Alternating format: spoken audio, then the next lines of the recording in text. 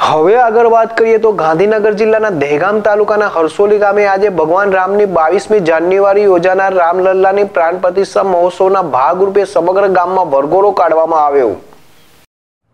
અયોધ્યા ખાતે ભગવાન રામની બાવીસમી જાન્યુઆરીના રોજ ભવ્યત્રી ભવ્ય શ્રી રામ મંદિરમાં રામલલ્લાની પ્રાણ પ્રતિષ્ઠા મહોત્સવ યોજાવાનો છે. તેના માટે ઠેર ઠેર તૈયારીઓનો દોર ચાલુ થઈ જવા પામ્યો છે. અયોધ્યામાં બનાવેલું રામ મંદિર ભારત સહિત દુનિયાભરમાં ફેલાયેલા હિન્દુઓના માટે આસ્થાનું મોટું કેન્દ્ર બની રહેશે. તેની પાછળ વર્ષોથી ચાલેલી કાયદાકીય લડાઈ છે અને ત્યારબાદ સુપ્રીમ કોર્ટના નિર્ણય બાદ મંદિરનું નિર્માણ શરૂ થયું. અને જેની વર્ષોથી રાહ જોવાતી હતી તેવા ભગવાન રામની નગરી અયોધ્યામાં બાવીસમી જાન્યુઆરીના રોજ પ્રાણ પ્રતિષ્ઠા મહોત્સવ યોજાવાનો છે.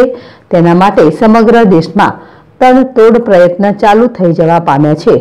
અને તાલુકા અને શહેરમાં અયોધ્યાથી કરશ પણ આવી ગયા છે અને તેના માટે યુવાનો અને મોટાઓમાં રામના નામની ધૂન પણ ચાલુ થઈ જવા પામી છે. તેના ભાગરૂપે આજે બેગામ તાલુકાના હરસોલી ગામ ખાતે અયોધ્યાનો કરસ આવતા સૌ ભેગા મળીને સમગ્ર ગામમાં ભગવાન રામના વરઘોડો કાઢી રામ લક્ષ્મણ હનુમાન દાદાના વેશભૂષા કાર્યક્રમો પણ રાખવામાં આવ્યા હતા અને કરશની વિધિપૂર્વક પૂજા અર્ચના કરવામાં આવી હતી. સમગ્ર ગ્રામજનો, બહેનો, માતા ભેગા મળીને વાજતે ગાજતે કાર્યક્રમનું આયોજન કરવામાં આવ્યું હતું.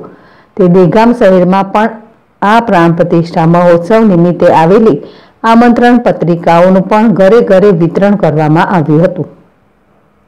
અગરસિંહ ચૌહાણ, જેડેશ ટીવી દેગામ